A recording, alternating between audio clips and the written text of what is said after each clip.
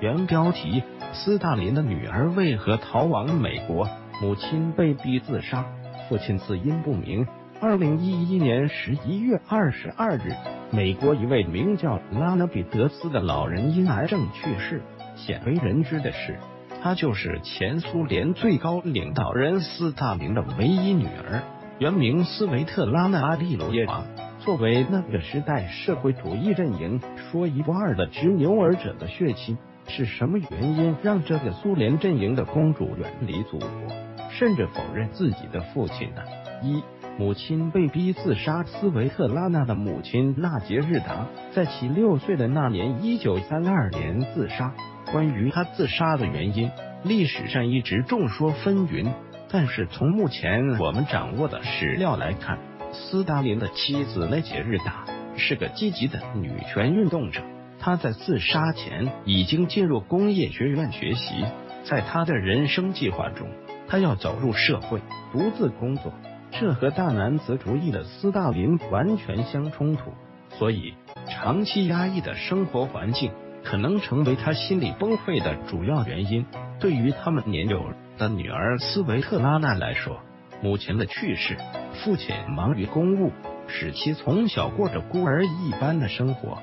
尽管在物质上，他从来不缺少什么。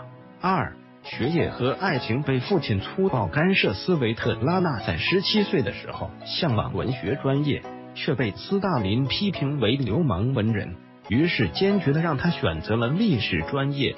这对于青年时代的斯维特拉娜来说，投身文学的梦想破灭是一个很深的打击。然而，斯大林极强的控制欲还没有结束。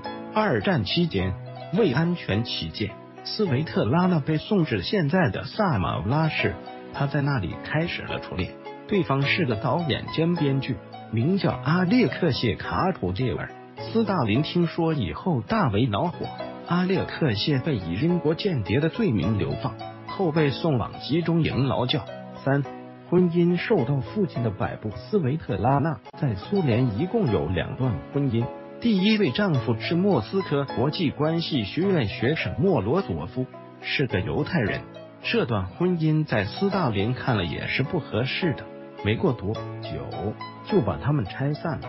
第二任丈夫是日丹诺夫，是当时苏共中央书记安德烈日丹诺夫之子，这在斯大林看来是非常满意的。斯维特拉娜甚至没见过日丹诺夫就结婚了。堪称俄国式包办婚姻。同样，这段婚姻也没有持续太长时间。四，父亲去世后叛逃苏联。一九五三年，斯大林突然去世，斯维特拉娜对此感到非常疑惑和不安。他清楚的记得父亲在去世前不久依旧身板硬朗，散步的时候连青年保卫人员都追不上，这似乎更加剧了。他对苏联政权的恐惧感，终于在一九六七年，斯维特拉娜借口去印度之后，辗转到了美国，在当时整个世界为之轰动。苏联当局只得说，斯维特拉娜是被批准的，出国多久由他自己决定。然而，直到到一九八四年，他才因为经济问题回到了苏联。短短一年以后，他再次逃离苏联。从此再也没有回国。在晚年接受媒体采访时，斯维特拉娜对于斯大林女儿的称呼极其反感。